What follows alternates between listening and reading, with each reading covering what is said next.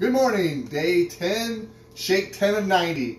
Uh, I really appreciate the suggestions some of you are giving me for shakes, and this is going to be a new one for me. This is from my son-in-law, Aaron Veal. Thank you, Aaron. Also compliments my mom, who brought over uh, some birthday cake. Uh, I had run out, so thanks, Mom. So let's start with the birthday cake. We'll do two scoops of birthday cake.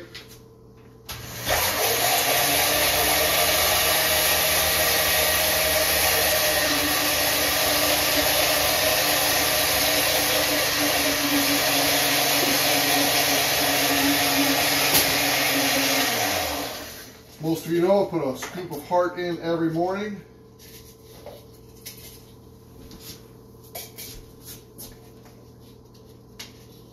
You don't want to take that thing out of your canister too early, but we're about done here. We got about one more day's worth. So scoop of heart. I'm hearing a lot of great things about the uh, immune booster too. So I might try that soon. That's the heart. And then what my son-in-law Aaron recommended was the uh, peanut butter. He says mixing peanut butter birthday cake tastes like a uh, peanut butter cookie. But we shall see. I got a little scoop in here, so we'll put a few of these, a couple of these in anyway.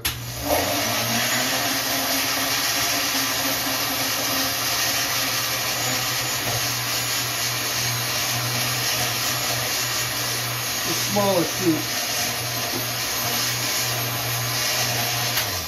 Well, that's nice, and we'll be ready to drink our breakfast.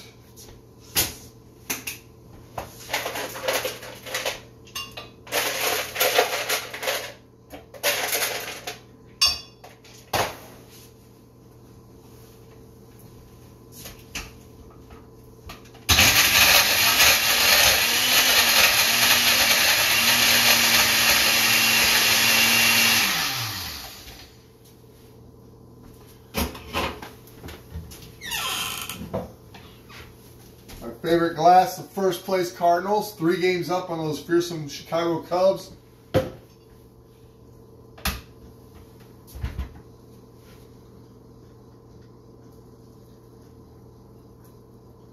Looking good. I like the texture. Not too thick, not too runny.